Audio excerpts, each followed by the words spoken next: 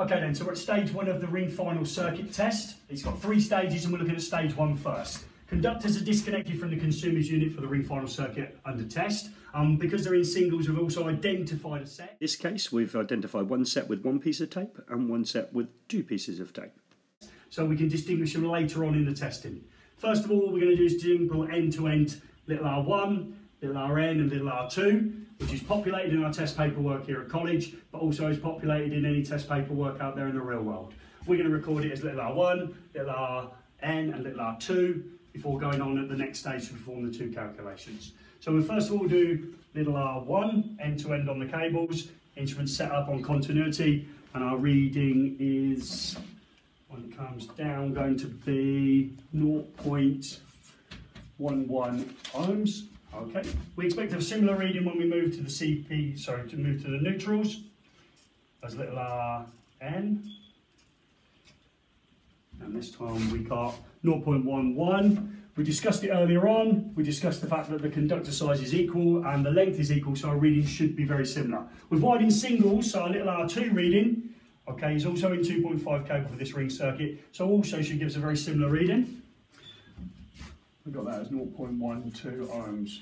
Okay, we have suggested that once we're looking at twin and CPC cables with a reduced 1.5 millimeter squared conductor size, that we're 1.67 times greater than the readings we would have got on the live conductors. So that's stage one of the ring final circuit test. Stage two of the ring final circuit test required us before we started it to do some calculations. In this job, we didn't get the same readings as previously stated of 0.11 end-to-end readings. This job now, we're testing, we got 0.06. All three readings were the same. Conductor size was the same, length was the same. We went on and did a calculation for uppercase, or R1 plus Rn, made up of little r1 and little rn, which was 0.06 added to 0.06 divided by 4. And we discussed about the divided by 4 before we started the video itself. We calculated our um, R1 plus Rn reading to be 0.03, remembering according to the on-site guide and the regulations we can vary by 0.05 up or down from that value. Our readings are olympically low compared to the real world because our circuit is very small in length. We've gone to the consumer unit, we've got our line and neutral conductors connected on opposites. So we've taken line conductor and linked it to its opposite neutral, neutral conductor and linked it to its opposite line conductor. See how opposite line and opposite neutral are connected together within the connector block. Our first measurement, and the bit that we always forget, is always taken from the connection within the consumer's unit. And we're going across one connected block to the other connected block and our reading comes out at 0.02. Our calculated reading was 0.03 and we're within the tolerance 0.05 up or down from that reading. It's the first bit. Now we've got to change to our plug-in tester itself. Get rid of the probes. Requires us to take these out.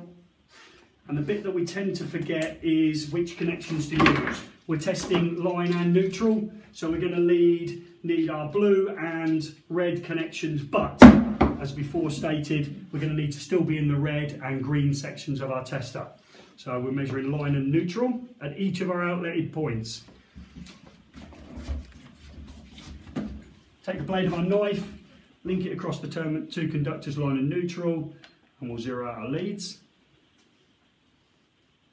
Just try again. Okay. And we're going to go to each socket outlet and turn on both sides. We won't record the reading. This is partly proving polarity, partly proving continuity of ring final circuits. However, we are going to have both these calculations from stages two and three appear on our paperwork. And as we move towards our next course, we will populate it perhaps on the back of our testing paperwork as well. So we're going to keep them, but not record them on the actual test result sheet itself. Okay, so we need line and neutral first. In 0.03, 0.02, two. We're flicking around a little bit here. So we'll zero them again. Just try them again. Zero them out again. Just try again. Let's see if we get better reading. Okay. So we've got 0.03. Turn off the outlet itself. It's part polarity testing. Take it out, plug it to the other side of the socket. 0.03, turn it off. But you have to operate the switch on both sides of the socket outlets for polarity purposes. We're part proving polarity of the pins, part, proving it's wired as a ring final circuit. Moving on to the next socket, exactly the same process again. We've got 0.03 and the outlet goes off. To the next side,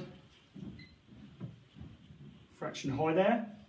Got a choice now, we either take the front off itself and probe into the back, or potentially, because the sockets haven't been used many times, perhaps a couple of insert and reinsert can get the reading down to a more realistic red level, 4.03, and it goes off. Final one on the ring final circuit for us.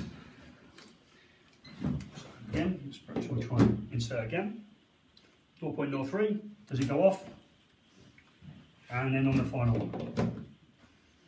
4.03, 0.02, fell out of zero again. And we go off itself. All of those are on the ring final circuit and we expect to get a reading within 0.05 of the calculated reading. This circuit, this socket is taken from the circuit as a spur and we'll have a slightly higher reading. We've got 0.03 and it goes off. Again, and we've got 0.06 on that side and then goes off. None of those readings are recorded on our test paperwork. We're just going to do that as part continuity ring final circuit and part polarity. Let's through the ring final circuit test now.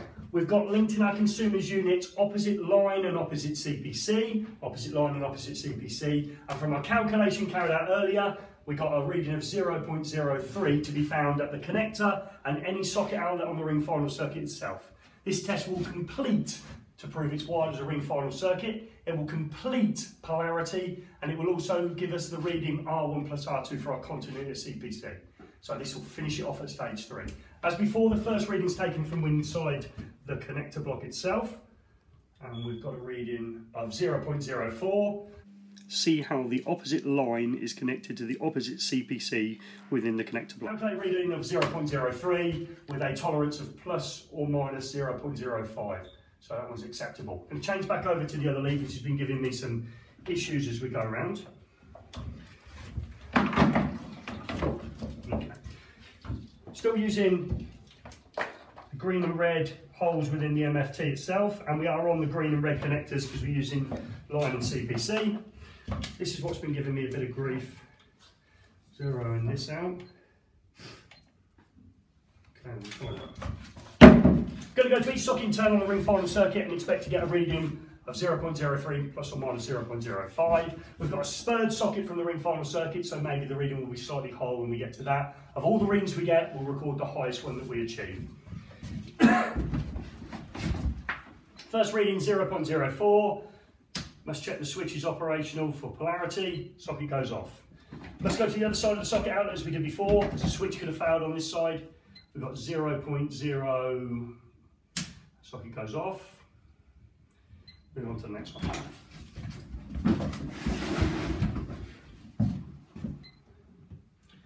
And socket goes off. Bit of issues with the readings. It's got 0.07 this time.